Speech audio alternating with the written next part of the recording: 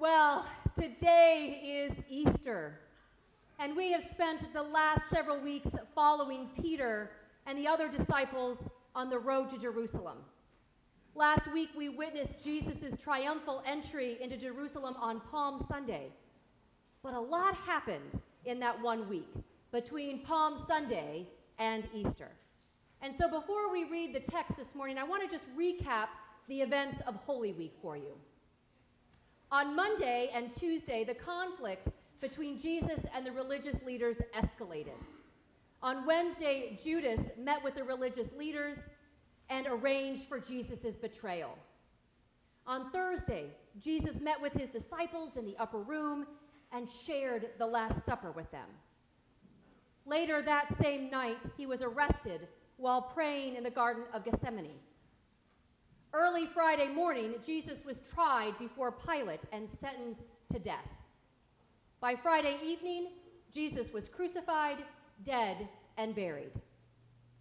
Saturday was a Sabbath day of rest. Only seven days had passed since the triumphal entry, but so much had happened in between. Now, Sunday morning had arrived, and everything was about to change. So listen now for the word of God to you from Luke chapter 24, verses 1 through 12. But on the first day of the week, at early dawn, they went to the tomb, taking the spices that they had prepared. They found the stone rolled away from the tomb, but when they went in, they did not find the body. While they were perplexed about this, suddenly two men in dazzling clothes stood beside them. The women were terrified and bowed their faces to the ground. But the men said to them, Why do you look for the living among the dead? He is not here, but has risen. Remember how he told you while he was still in Galilee that the Son of Man must be handed over to the hands of sinners and be crucified and on the third day rise again? Then they remembered his words. And returning to the tomb, they told all this to the eleven and the rest. Now it was Mary Magdalene, Joanna, Mary the mother, mother of James, and the other women with them who told this to the apostles.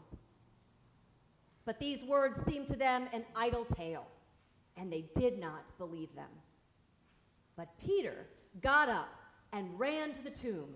Stooping and looking in, he saw the linen clothes by themselves.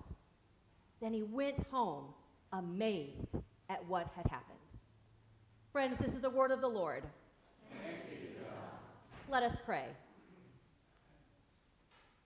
O oh God, may the words of my mouth and the meditations of all of our hearts be acceptable to you, our rock and our redeemer. Amen.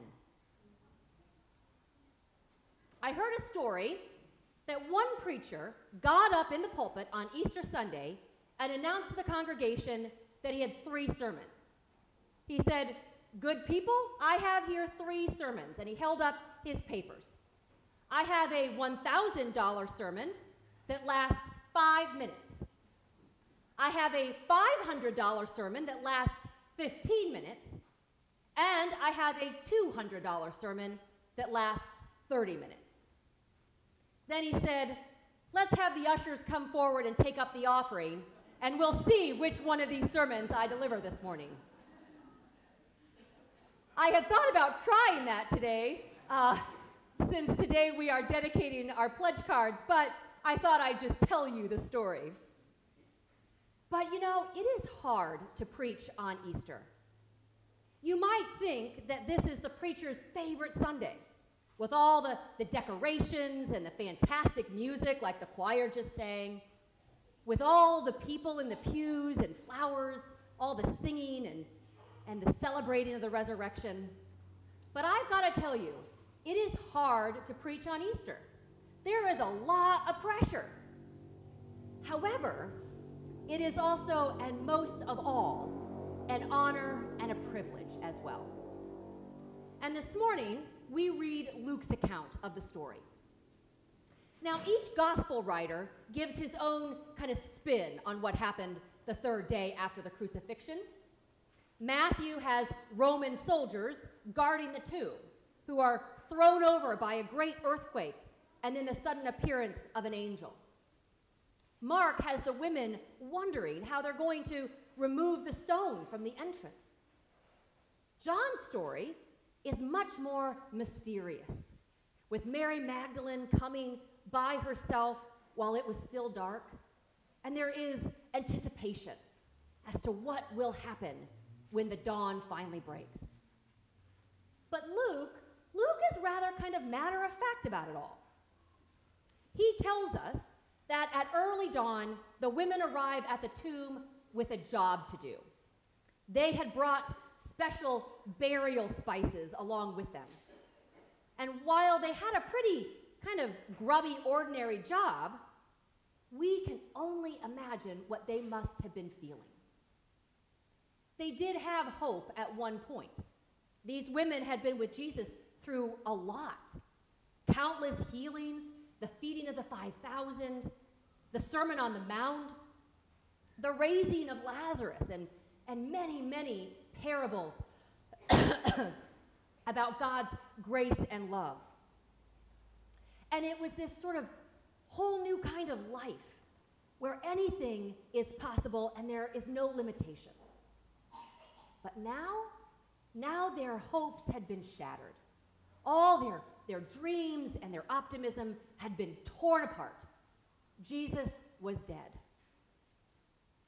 What they then discovered when they reached the tomb was beyond anything they could imagine. The stone was off to one side, and the lifeless body that they expected to see was nowhere to be found. Instead, there were these two men, these two strangers in dazzling white clothes. And they said to the women, Who, why are you looking for the living among the dead? He is not here. He has risen. Remember what he told you. Remember. There is that word again. John used it this, uh, in the same way in our text from last week, if you remember that, with Jesus' triumphal entry into Jerusalem. And he was talking about how the disciples, they did not yet understand. But when Jesus was glorified, then they remembered. One of my favorite theologians and authors is C.S. Lewis, who wrote a series of children's books you might be familiar with called The Chronicles of Narnia. And of course, the most famous book in the series is The Lion, the Witch, and the Wardrobe. But there is another called The Voyage of the Dawn Treader. Anybody read that one? Anybody? Oh, okay, got a couple. Well, it is about a little girl named Lucy who reads a beautiful story out of a magical book. But part of the magic of the book is such that she forgets it almost as soon as she has read it, even though she tries really hard to remember. We're told that from then on, whenever she liked a story, it was because it reminded her in some way of that beautiful, magical story she had forgotten. Later, when she sees the lion, Aslan, the lord of all the world of Narnia, Lucy asks him to tell her again that beautiful story. And he replies that he will be telling it to her over and over again for years to come. Luke tells us that the women did indeed remember. They remembered that Jesus had told them that when he came to Jerusalem, he would be arrested, that he would be humiliated and tortured and then die, but that that would not be the last word. He would rise again. He had told them all this, but they did not understand it at the, at the time. Now, now that they remembered, it suddenly all made sense. So the women went back and told the disciples everything that they had seen and heard at the empty tomb and all that they had remembered. But to those men locked up in that upper room, scared, ashamed, and guilty, the women's words seemed to be just an idle tale. Some translations say that they thought it was just nonsense. One paraphrase reads, they thought they were making it all up. So, to them, to the disciples, it all sounded just like a bunch of rubbish. Simply impossible. And I don't know about you, but I can understand this reaction. I understand how the testimony of these women sounded merely like an idle tale, like empty talk and utter nonsense. Because we do this all the time. We live in a world where seeing is believing, right? We focus all of our attention on just coping and putting up with life's injustices and unfairness. And we don't look for the resurrection in unexpected places. Just like the disciples, it seems impossible to us. But thankfully, not all the men dismissed these women. There was one exception good old Peter the Rock. Now, we might expect that after denying Christ three times, Peter would kind of cower in shame, that he would run away in an attempt to leave his past behind. Instead, when he hears the news from the women, he gets up and he runs to the tomb to see for himself. And when he peers in to the empty tomb and sees the linen cloths just lying there, Luke says he was filled with amazement. Now, I can't think of a better reaction than that, can you? Dr. Karoline Lewis said, The resurrection only makes sense when we remain amazed, marveling and wondering at the love of God that reversed death itself. Resurrection is not an idea around which to wrap your mind, offering se- sense to a, a, a confusing world. It's not a theological debate about the different ways to interpret this text. Resurrection is an experience. It is an experience of being amazed at the most wonderful and unexpected ways. and I have seen this right here in Green Acres in my five years with you.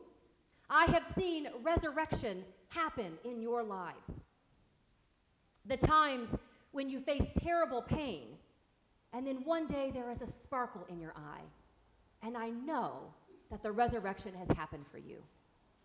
I've watched you move through times of struggle and great darkness, and then one day notice that God has visited you with some healing, and there is joy back in your lives.